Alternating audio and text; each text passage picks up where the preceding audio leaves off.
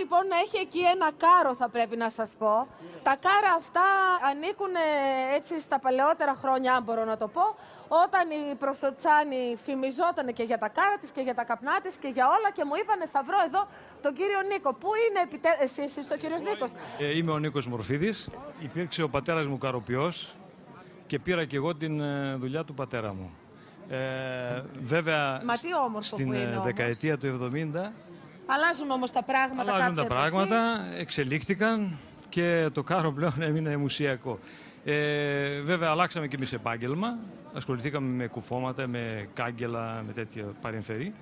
Ε, όμως ε, τώρα θέλησα να το Ένα και μοναδικό εξαναπαναφέρω. κάρο όχι, έχετε. όχι. Πόσα έχω, έχετε; Έχω γύρω στα πέντε. Τα οποία και τι τα οποία κάνετε, κάνω. απλώς τα συντηρείτε αυτή τη Απλά στιγμή; τα συντηρώ, τα έχω. Με και ποια πάμε. σκοπιμότητα; Αναμ... Ε, για καθ- ίσως να κάνω αναμνήσεις κάποιες ή- αναμνήσεις, κάποια έκθεση, κάπου, ξέρω εγώ, στο μέλλον. Και ενδεχομένως μπορεί να ασχοληθώ και ε, επαγγελματικά πλέον ξανά, κανονικά. Όταν θα Την χρειαστεί να παραγωγή. ξανανεύουμε Αν- στα κάρα; Ε, Εκεί πάει βέβαια. Ε, τώρα Αστείευομαι, με τη αστείευομαι. λιτότητα.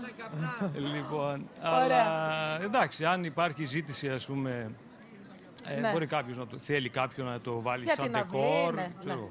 Και νομίζω ότι θα δούμε και ένα πάρα πολύ ιδιαίτερο αφιέρωμα, καθώς θα δούμε πώς ε, γίνονται και τα κοφίνια, πώς κατασκευάζεται ο- το κάρο, πώς γλεντάτε, όλα όλα αυτά αυτά τα τα ωραία. λεπτά. Λουκάνικα φάγατε μετά; Ναι. Λουκάνικα, κρεατάκια. Κρεατάκια, απ' ω και τι όλα δεν εδώ, φάγατε. τα Γι' καλά. αυτό σας βλέπω καλοζωισμένους σήμερα. Και όλα ε. τοπικά, βεβαίως. Τοπικά. Και, και Πάμε- τσιπουράκι. Και τσιπουράκι. τσιπουράκι από εδώ, κρασάκι. Νηστίσιμα δεν νομίζω να φάγατε νηστίσιμα λουκάνικα.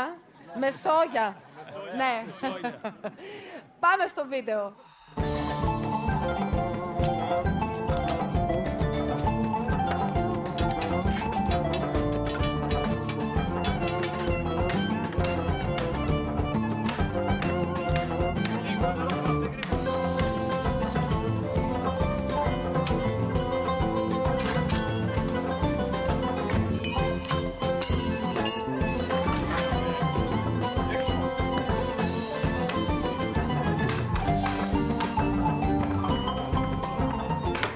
Διαδικασία χρειάζεται χέρια.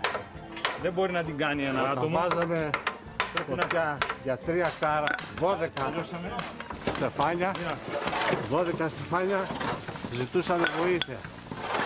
12 στεφάνια, Πολλές φορές αλληλοβοηθιόμασταν οι καροποιοί. Οι μεν πηγαίνουν στους δε να κάνουν αυτή τη διαδικασία γιατί ήθελε τουλάχιστον 4-5 άτομα. Διαστήλαμε το στεφάνι της ρόδας που είναι σιδερένιο για να περάσει μέσα. Αλλιώς δεν περνάει. Πυρώνεται καλά και κατόπιν με τους ειδικούς μοχλούς το περνάμε μέσα. Και αυτόματα το κρυώνουμε για να μην ανάψει το ξύλο και καεί. Να προλάβουμε, γιατί αν καεί θα κάνει θέση και θα λασκάρει μετά από λίγο καιρό. Γι' αυτό το προσέχουμε να γίνει άμεσα αυτή η διαδικασία, να γίνει γρήγορα. Μετά, αφού την ε, ευθυγραμμίσουμε, γιατί όλα πρέπει να μπουν σε μία ευθυγράμμιση, μετά τη βάζουμε στο νερό και σιγά σιγά την κρυώνουμε. Ταυτόχρονα ελέγχουμε, μην τυχόν μας έχει φύγει καμία ακτίνα, κάποιο, κάποια ψίδα από τη θέση και αφού βλέπουμε ότι είναι εντάξει, το κρυώνουμε τελείως. Ε, Εγώ είμαι καροποιός από το 70. Δηλαδή είμαι από μικρό παιδί. Ο πατέρας μου ήταν καροποιός. Ανέλαβα εγώ το 70, τη δεκαετία του 70 τη δουλειά του πατέρα μου, γιατί ο πατέρας μου λόγω ασθενείας δεν μπορούσε να εργαστεί. Στη δεκαετία του 70 ήταν και η τελευταία δεκαετία του κάρου. Από εκεί, δηλαδή στη δεκαετία του 70 άρχισε να φθήνει. Σήμερα πόσοι καροποί υπάρχουν, δηλαδή τότε είχαμε πόσους καροποιούς. Στην Προσοτσάνη, να μιλήσουμε για την Προσοτσάνη, ήταν πάνω από 15 καροποιοί και με- μερικοί σιδεράδες. Τη δεκαετία ας πούμε, του 50, 60 και προπολεμικά ήταν πάρα πολλοί. Ήταν, σας λέω, πάνω από 10-15 μαγαζιά. Σήμερα; Σήμερα, Σήμερα δεν υπάρχει κανείς.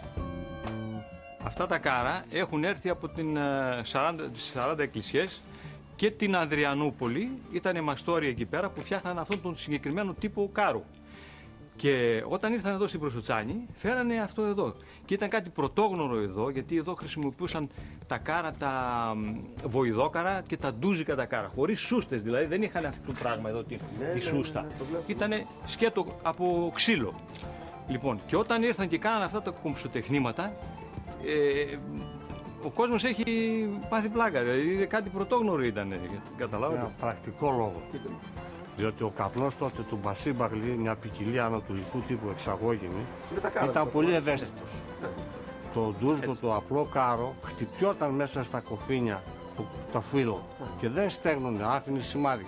Ενώ με τη σούστα Τα παλιά τα χρόνια, τότε που ήμουν πιτσιρίκος, ε, εμείς δεν προλαβαίναμε να τα φτιάξουμε, να τα ζωγραφίσουμε, να τα βάψουμε και είχαμε κάποιον ε, που μας έκανε αυτή τη δουλειά. Ε, είχε- έκανε, κατ' επάγγελμα ήταν ζωγράφος, βαφέας και μας ε, τα έφτιαχνε. Όμως κάποια στιγμή αναγκαστήκαμε να τα αναλάβουμε εμείς να τα βάφουμε γιατί ο άνθρωπος αυτός έφυγε στη Γερμανία μετανάστης τη δεκαετία του 60 και αναγκαστικά έπρεπε να βρούμε λύση. Πόσα κάρα υπήρχαν τότε στην Προσοτσάνη. Λοιπόν, 1200 κάρα αυτού του τύπου υπήρχαν εδώ. Και οπότε ήταν 10 καροποιοί, 15 όλοι με τους σιδεράδες που ήταν γεωργικά εργαλεία. Το δικό μας το μαγαζί έκανε και κάρα και όλα τα γεωργικά εργαλεία. Υπήρχαν μαγαζιά που κάναν μόνο κάρα. Με αυτά να υποθέσω ότι μεταφέρανε και τις κουβαλούσαν και τις πρίκες. Τα έτσι, πάντα, τα πρικιά, τα ε. πάντα. Ήταν μεταφορικό μέσο και τις πρίκες ε, κουβαλούσανε, την ύφη, όλα τα, τα Λούσια ναι, νύφη είχε τρία κάρα γεμάτα. γεμάτα με, με πρίγα. Άρα ο Τρίγα. Λαμπρός έπρεπε να δει τα τρία κάρα. Τρία Αν κάρα. είχε ένα κάρο φτωχή. ναι. Ω, φτωχή. Φτωχή με ένα κάρο. Με ένα κάρο ήταν φτωχή. Ναι. Πέρα από τα κάρα φτιάχναμε και κάτι. Φτιάχναμε και αγροτικά εργαλεία, δηλαδή αλέτρια, τα που οργώνανε δηλαδή, ε, ε, τους ε, ε, Τσάπες.